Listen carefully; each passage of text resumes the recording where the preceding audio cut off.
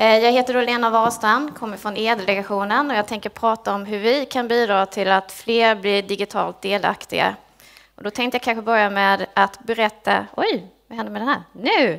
Vilka vi är, för ni er som inte känner till oss. Det här är E-delegationen. Vi består av 16 generaldirektörer och en representant från Sveriges kommuner och landsting. Vi bygger på frivillig samverkan. Vi försöker göra så bra e-tjänster som möjligt i offentlig sektor. Vi avrapporterar till eh, IT-ministern Anna-Karin Hatt som sitter på Näringsdepartementet. Och vi kommer sitta under 2009 till 2014, så vi har också kommit halvvägs med vårt uppdrag. Vi finns till för de här personerna. Och det här är min familj. Det är min bror, min mor, min svärmor och min son. Eh, och vi ska då se till att de ska kunna bli digitalt delaktiga på något sätt. Hur ska vi då göra det? Jo, vi har egentligen inte i våra direktiv från regeringen något klart uppdrag kring det här med digital delaktighet. Men vårt hela mål heter så enkelt som möjligt för så många som möjligt. Alltså egentligen finns det väldigt mycket digitalt delaktigt i detta. Ehm, för att få kunskap då om, precis som Olle här har pratat om, eh, vilka som eh, inte är digitalt delaktiga, så gick vi bland annat och tittade i Digidels rapport. Och där står bland annat att de tre främsta orsakerna till att man inte blir digitalt delaktiga, det är att man saknar intresse, det är en krånglig teknik och det är en kostnad. Då gjorde jag en miniundersökning. Ni kommer ihåg min familj här, vi var fyra stycken. Eh, en av dem är inte digitalt delaktiga. Jag börjar med en, den första, det är min son, han heter Max, han är sex år. Han är digitalt delaktig från början, som ni ser. Det här är en bild han har tagit själv med min smartphone.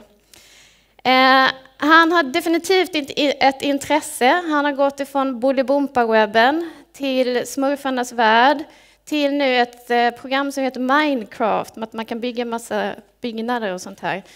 Eh, han har fötts in i den här enkla tekniken. Han upplever absolut inte att tekniken är krånglig och han ser inga kostnader. Det är bara mamma som säger stopp för betalappar.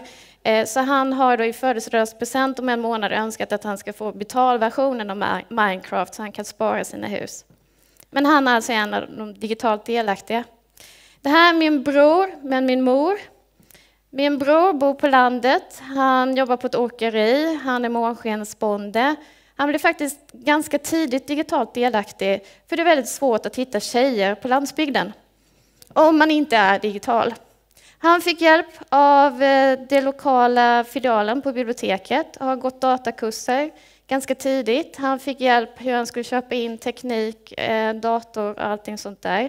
Och han hade då inte heller några problem med kostnaderna.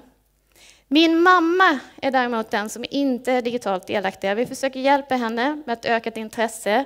Hon tycker det här är spännande att kunna följa barnbarnen på Facebook och sånt här, men hon är ändå rädd för tekniken eh, och hon ser kostnader och sen så faller det på en fjärde punkt som vi inte har berättat.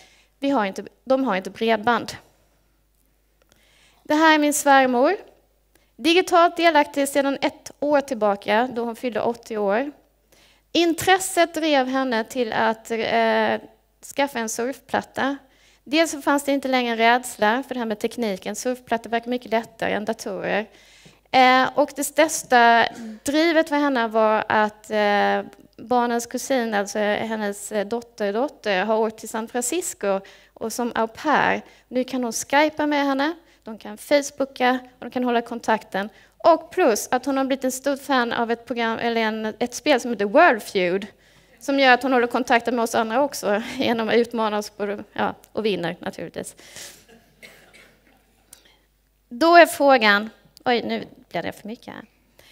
Vad kan e-delegationen göra för alla de här människorna som önskar att bli delaktiga, inte bara min familj?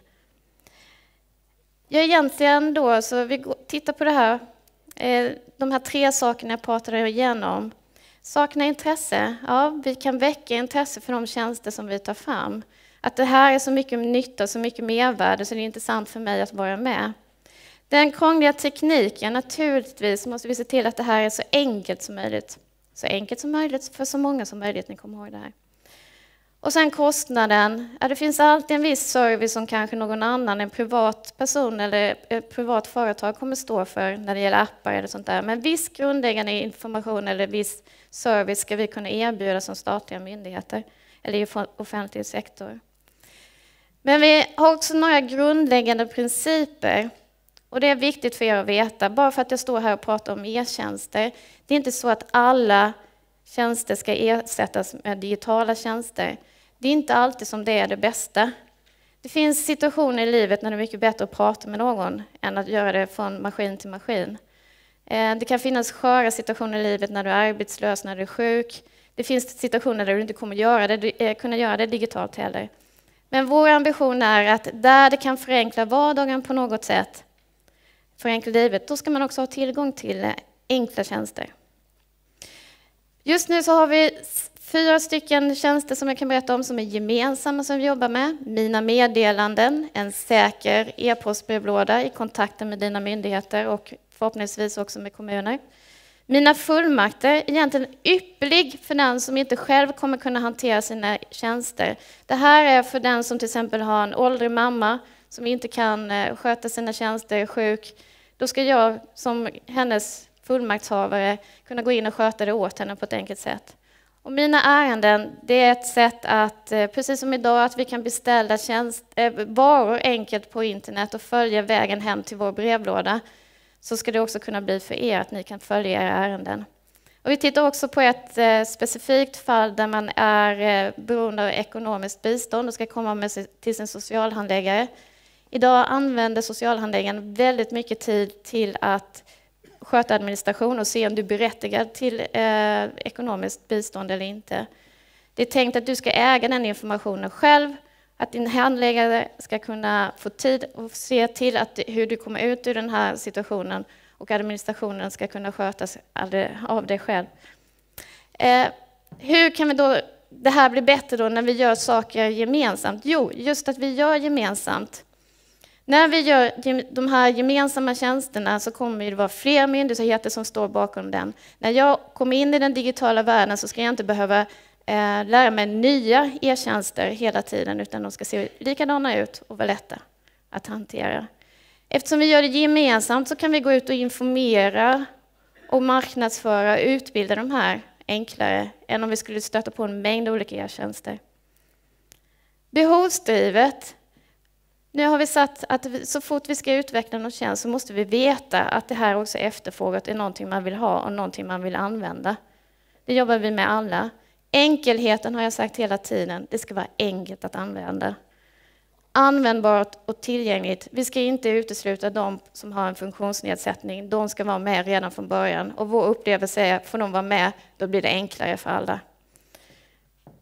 Och som svar på min fråga, kan vi göra det enklare för alla? Nej, det kommer vi inte kunna göra det. Men vi kommer jobba för att det ska bli enklare för så många som möjligt. Så.